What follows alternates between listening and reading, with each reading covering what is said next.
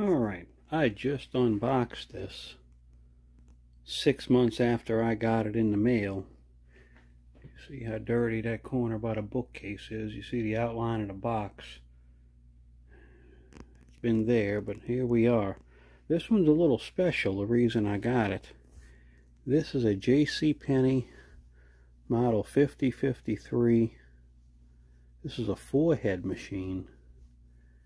This is the first VCR that anyone in my immediate family bought.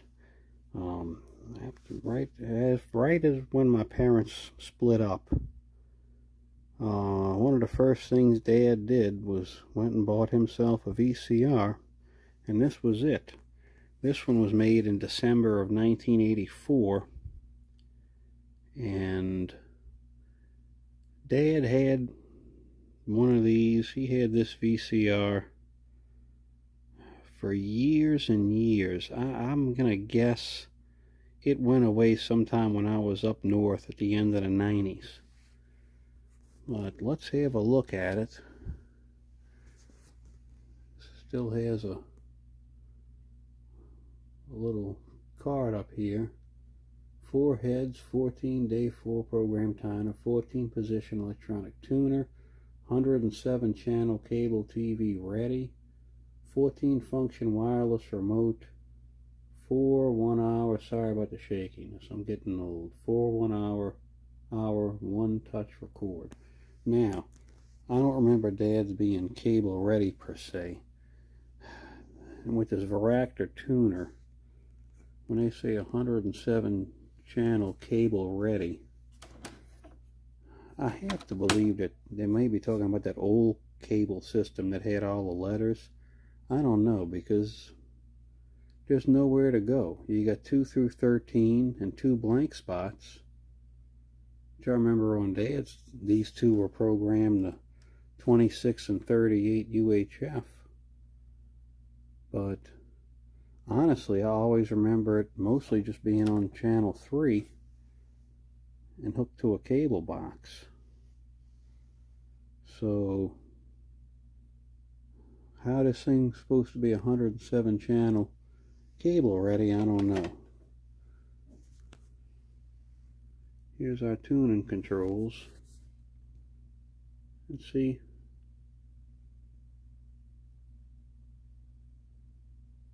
Well, I think this is the old cable system, if you see here. VHF high 7 through teen plus cable TV A1, A2, and A through W. Which that was never even a possibility in this market, southeast Louisiana. So, what do we have? Eject power TV VCR, your controls, freeze, slow motion, record the tuner, and then we'll open up the door here. We got counter, A dub, not sure what that is. And we got our clock set and all of that. How do we set the clock on here?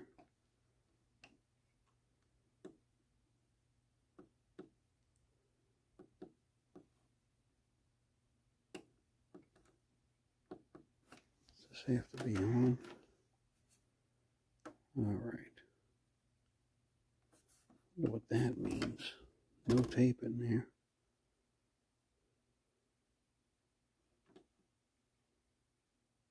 Ah, Sunday.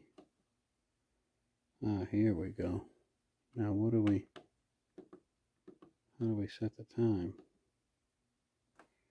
Do we hit forward? No.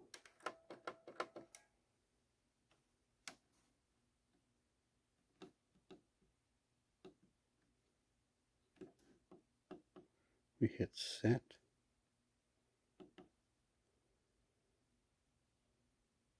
It is Wednesday. It is 12 a.m.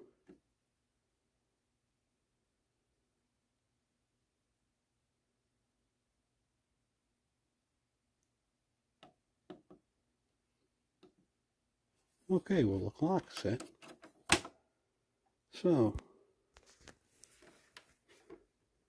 kind of a transparent door. We do have a window up top there also. As we peer inside, I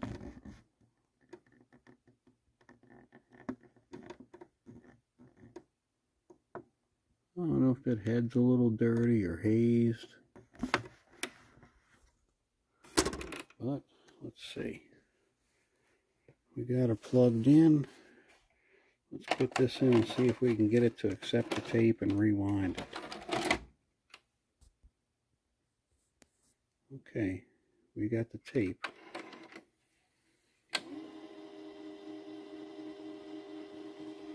And it is working. We can see the tape down through the window. And she is rewinding.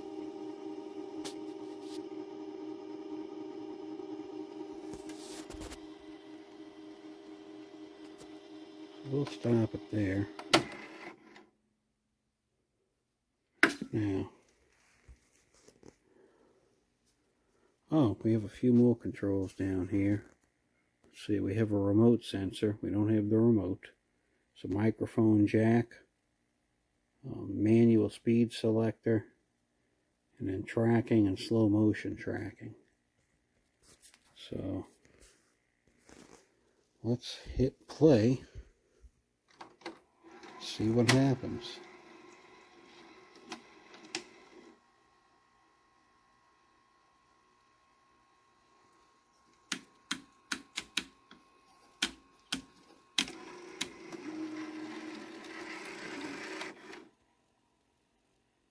Nope.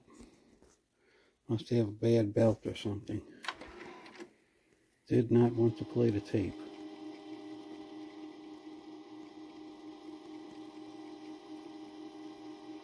Let's look down through the window.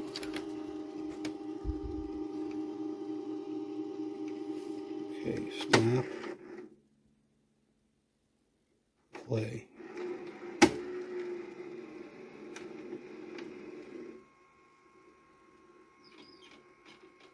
Uh-oh.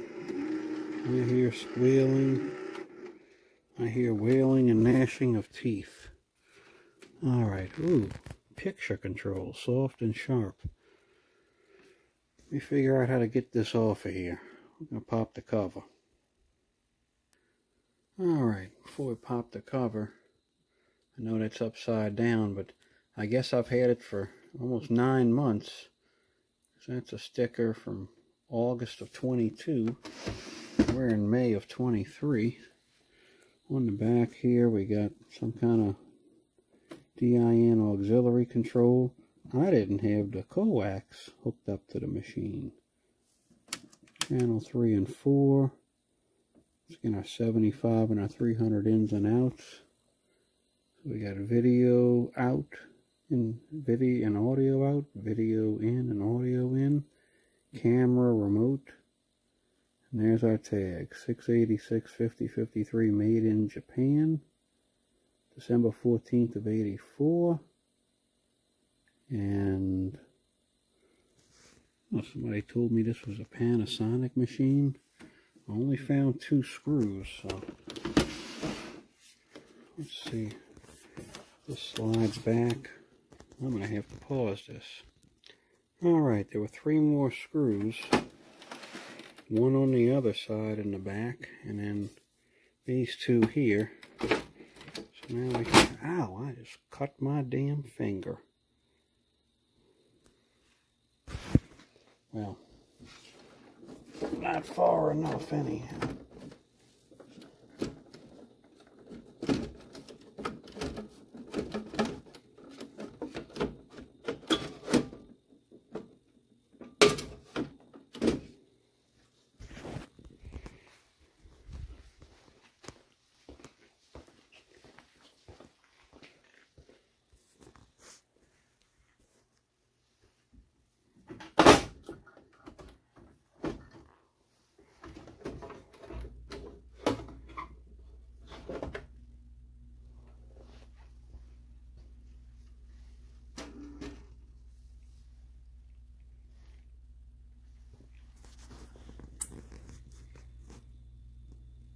Alright. So now we'll have a look in here. Potential circuit. Ooh. Power circuit.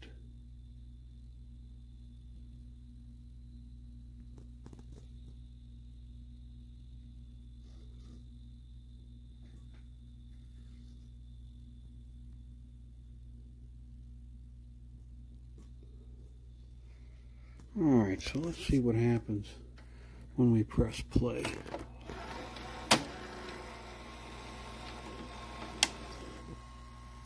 Oh, it's running. We got some squealing.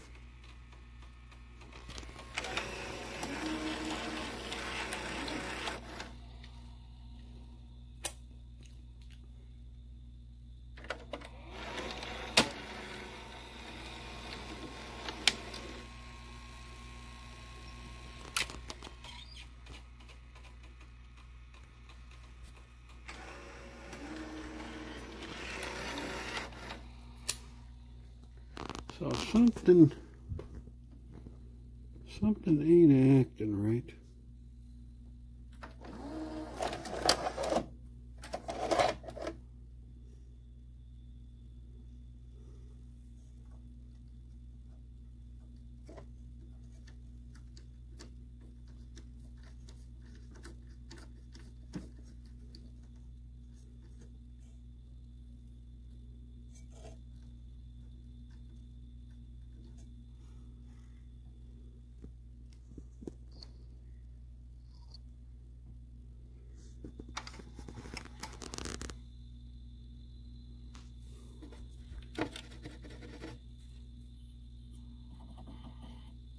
All spins free.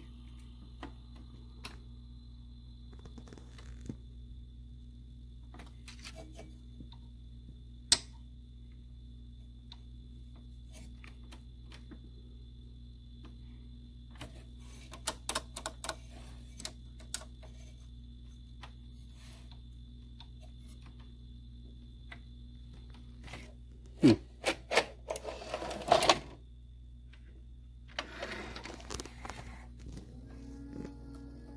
Ah, look at that. The rewind ain't rewinding no more.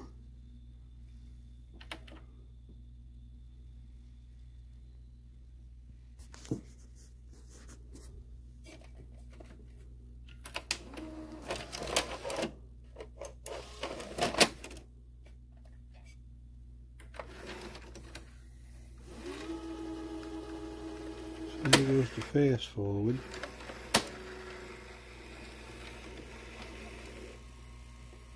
Oh, now it's playing.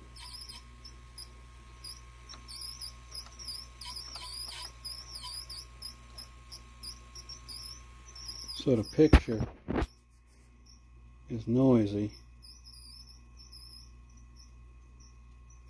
Hope I don't get a copyright, you know. I mean, there's no way. I might get a copyright on this. What is squeaking?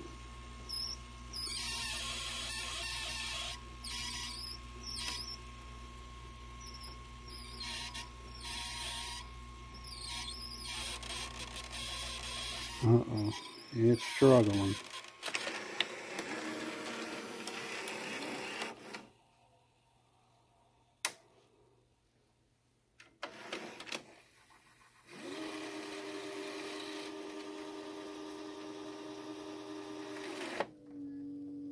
Uh-oh.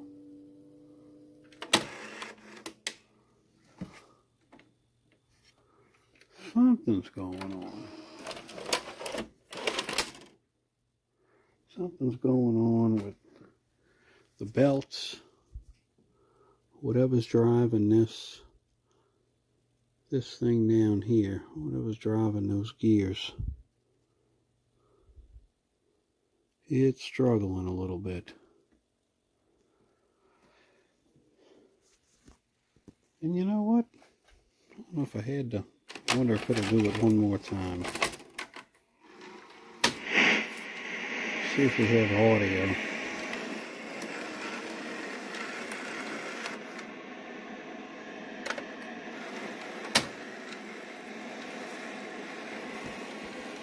Oh look, it don't even want to stretch the tape. Oh no, it did. Or did it? No.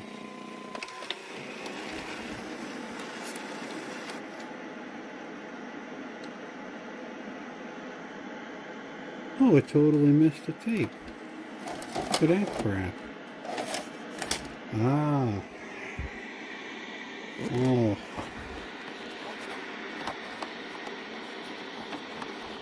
It crinkled my tooth.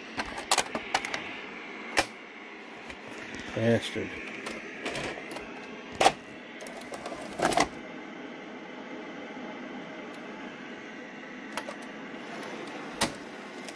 Here we go. Just make sure we got audio. No. Not turning. Not turning. Well, it's rewinding now.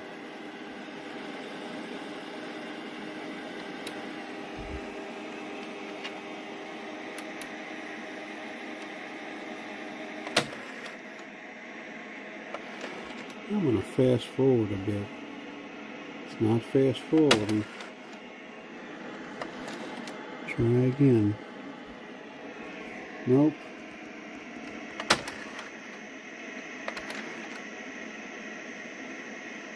Can't get it to fast forward.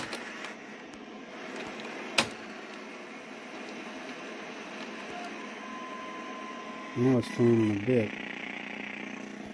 And it stopped. No. No. She needs some service. But, get that off. Turn the light off, because these, these are weak. And I know these blue displays get weak over the years. Nowhere near as bright as they used to be. But the J.C. Penney 5053 from the end of 1984. Once again, any tips? Anybody knows for sure who built it? Leave something in the comments. Thanks.